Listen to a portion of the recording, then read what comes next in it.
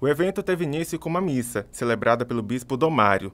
Este é o segundo ano que a paróquia São Francisco comemora a Semana Nacional da Família. A nossa Diocese de Roraima, com a coordenação da pastoral familiar, né, o apoio também de vários profissionais, parceiros, a nível eclesial também, mas a nível governamental e, e social né, e profissionais, estão hoje promovendo uma ação social. Esta ação social para o bem das famílias. Após a apresentação das instituições parceiras, começaram os atendimentos. Enquanto aguardavam nas filas, os beneficiários da ação social puderam conhecer o programa Fiscaliza Roraima. Rosenilda gostou de saber que tem onde denunciar os problemas do bairro dela. Muito buraco. Somente na avenida onde eu moro, principalmente. Cheio, também que não chove, não tem como a gente passar.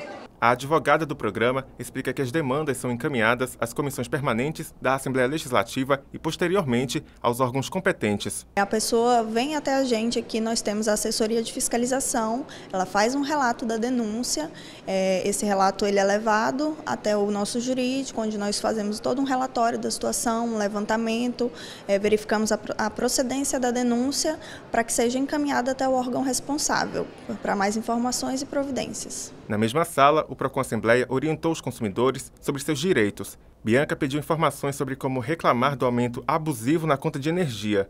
Ela parabenizou a iniciativa. As pessoas são um pouco acomodadas, né?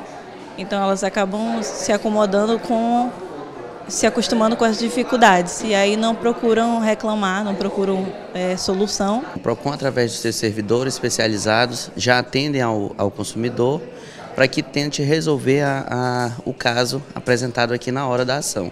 Os atendimentos presenciais na sede do órgão de defesa do consumidor ocorrem de segunda a sexta, o dia todo. Ele tem lá o nosso setor de atendimento, que tem profissionais capacitados para atender e dar maior efetividade a todos os consumidores. As sedes do Procon Assembleia e do Fiscaliza Roraima ficam na rua Agnelo Bittencourt, número 232, no centro de Boa Vista.